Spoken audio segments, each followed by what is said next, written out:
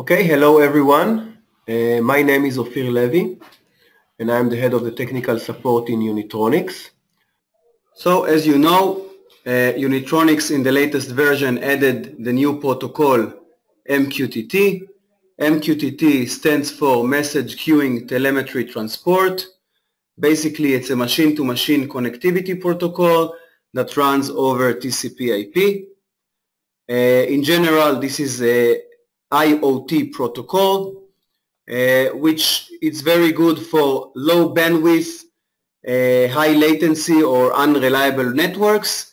MQTT is ideal protocol for machine-to-machine -machine, uh, communication. Uh, MQTT also brings many powerful benefits to the process, uh, such as distributing information more efficiently, increasing scalability, reduce network bandwidth consumption dramatically, and even reducing update rates to seconds. MQTT is based on publish-subscribe structure. We have uh, the publisher, which basically publisher sends messages according to topics to the specified brokers. The broker is acting like a switchboard. It is accepting the messages from the publisher of uh, specified uh, topics and then sending them to the subscriber of those topics. A subscriber receives the message from the broker for the specified topics that he was subscribing to. Here uh, we can see this diagram, uh, which basically we can see how uh, the MQTT also can uh, bridge the gap between the OT and the IT. So at the bottom we can see, let's say, the machines, machine 1, 2, and 3, which uh, Unistream, uh, let's say, installed on those machines. Uh, and we can see in the middle the uh, MQTT broker. Usually the MQTT broker will be installed on a server, on a PC, of course. And what we can see here is that the machines can publish data to the broker. A cloud application or MES or any database server can subscribe to these the data to some topics that these uh, machines will publish and then automatically once the machines will publish the data the broker will transfer the data to these uh, applications and vice versa also, the machines can subscribe to specific topics in the MQTT broker. And once the MES or the cloud applications uh, will send the data for these relevant topics, the MQTT broker will send this data to the machines.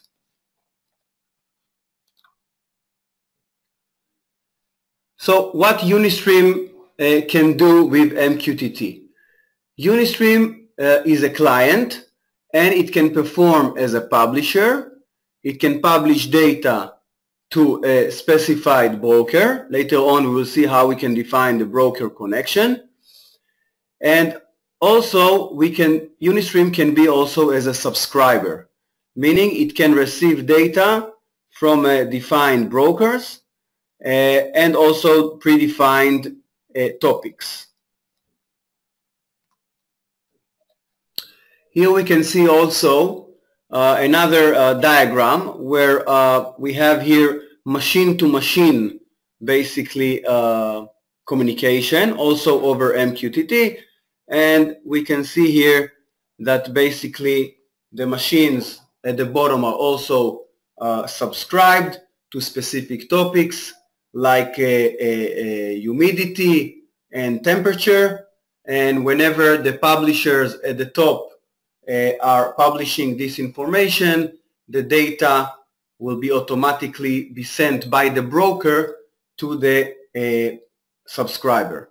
You can understand that uh, this protocol is uh, not like uh, the ordinary client server that you used to know, where usually the uh, client or we're pulling always information. For example, if we will take a Modbus protocol, for example, then when the master wants to get information from slaves, he always needs to pull eh, in order to get eh, new information and basically it's kind of loading the network. While in eh, MQTT, if there is no information to send, the publisher will not send it and only when the publisher will send new information, the subscriber will uh, receive it. Uh, by the way, just to let you know, MQTT was originally uh, developed for uh, low bands, high latency uh, data links, uh, mostly used in the oil and gas industry. However, today MQTT is used for many applications beyond oil and gas, from controlling smart lighting system, messenger applications, and much more. Uh, Amazon Web, Web Services recently announced that uh, Amazon uh, Internet of Things, IoT, is based on MQTT as well. Uh, overall, MQTT appears to be the protocol best suited for control system used by industrial organization and we can expect that this uh, is a rapid rate of adoption will only increase in the future. And we all know also the buzzword uh, Industry 4. Uh, I just want to mention again that uh, in addition to MQTT, Unistream uh, series uh, uh, also support SQL client, meaning that we can connect to for example, to ERP systems and exchange information with those servers and application. We have built-in web server and many more uh, options to connect to the cloud. Okay, so this was the presentation part. Now uh, we are going uh, to see how it looks in Unilogic. So here uh, we have Unilogic. Now it's more the technical uh, part of this uh, presentation. Uh, under protocols, now we can see uh, MQTT. MQTT uh, offers are here to configure the broker connection. So here we can define in general the IP address of the broker. We can even use a host name if it has a dynamic IP. We have the default port, uh, and of course many other options. We're not going to cover all of them, but uh, we have here the username and password to connect to the broker in terms, in terms of authentication.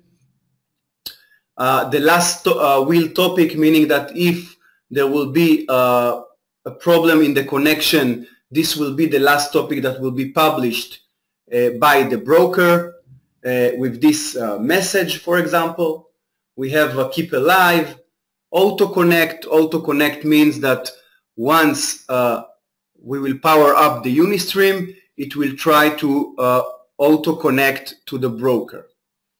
We have the connection attempts interval and we even have here the encryption option. So probably you know that for MQTT there are different uh, uh, options for encryption.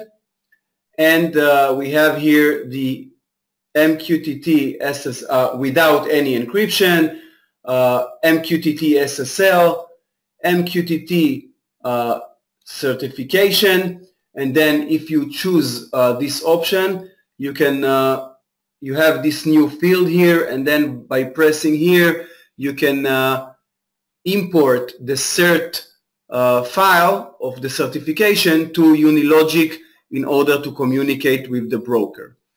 So this is another nice option. And we have also here the uh, certification, which is a, fine signed uh, certification. Okay, so this is the broker connection. Now uh, we are going to look at the subscriptions. So in this, uh, in this uh, example application, we configured several subscriptions.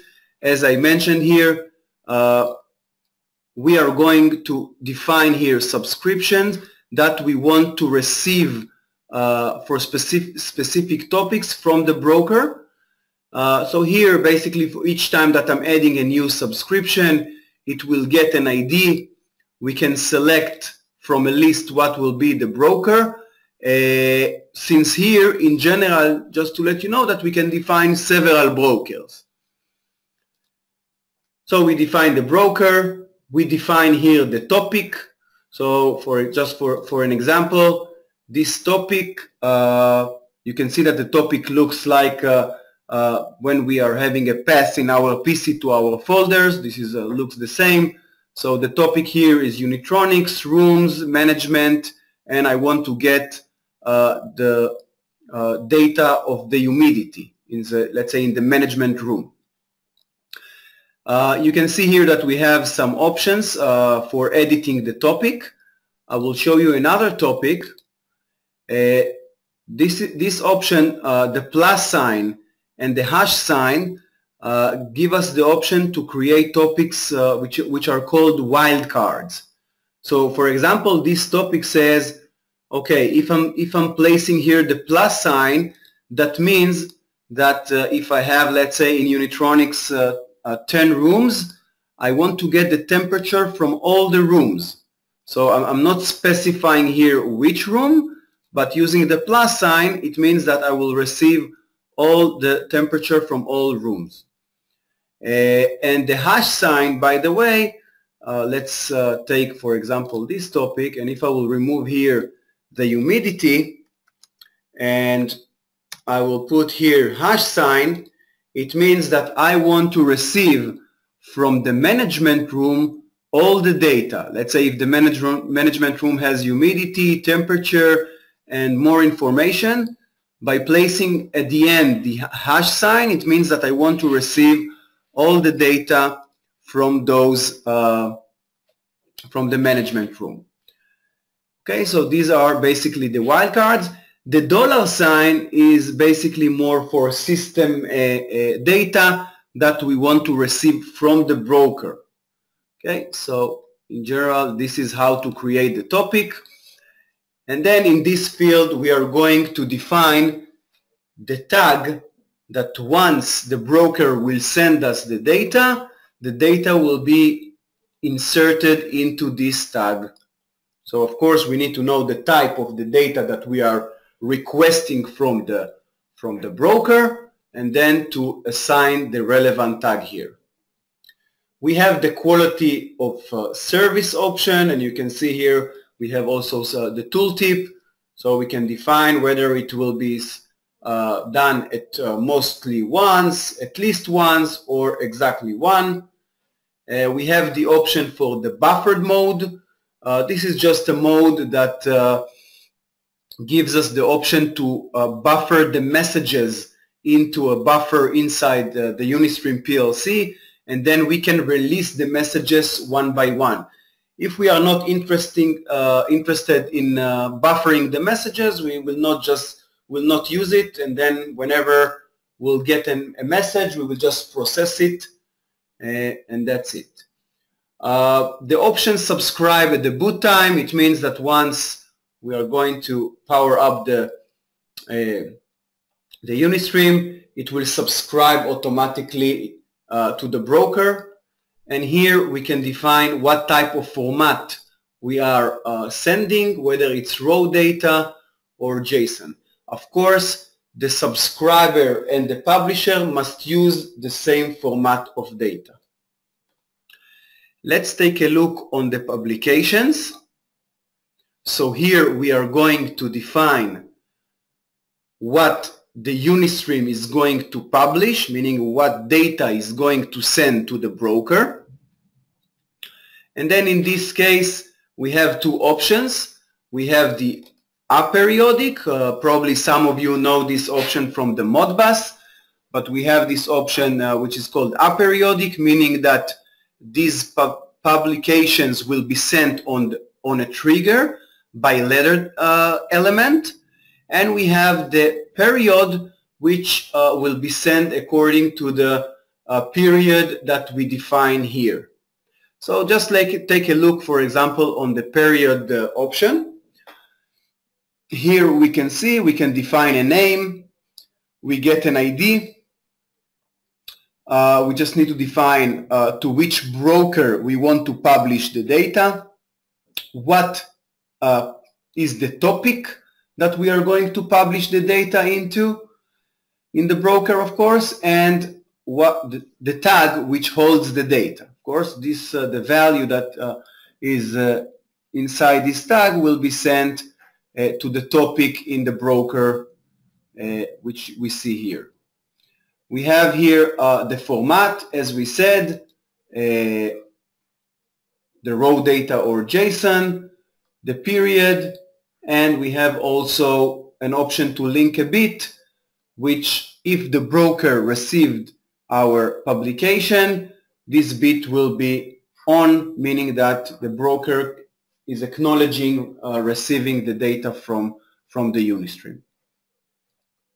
Okay, so this is the way we are defining our uh, broker connections, subscriptions, and publications.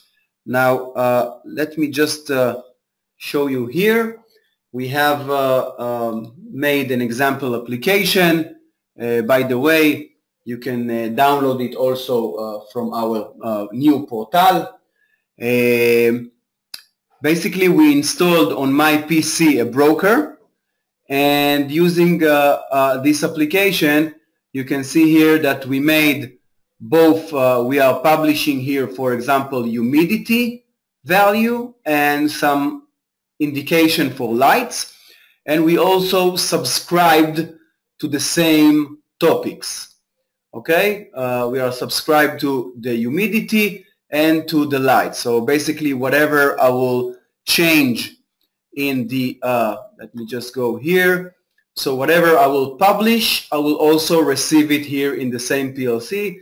So for example, if I will publish a humidity 15, then you will see that I'm getting the data back into uh, here.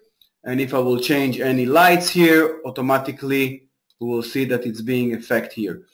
Uh, just to show you more, uh, we have here another client which we downloaded from the web uh, which uh, is basically MQT, MQTT client.